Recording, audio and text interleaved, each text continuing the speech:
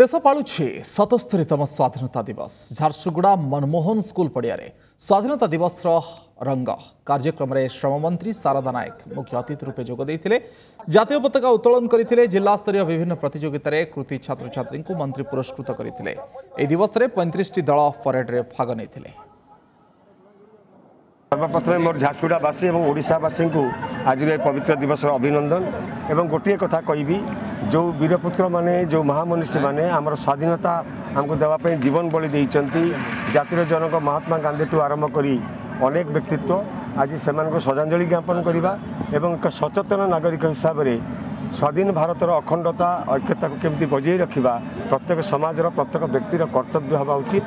ମୋର ଅନୁରୋଧ ଆସନ୍ତୁ ଆମ ଦେଶକୁ ଏକ ମହାନ ଦେଶ ଆମ ରାଜ୍ୟକୁ ଏକ ମହାନ ରାଜ୍ୟ ଆମ ଜିଲ୍ଲା ଝାରସୁଡ଼ା ଜିଲ୍ଲାକୁ ଏକ ଶ୍ରେଷ୍ଠ ଜିଲ୍ଲାରେ ପରିଣତ କରିବା ପାଇଁ ଆଜିର ଦିବସରେ ସଂକଳ୍ପ ନେବା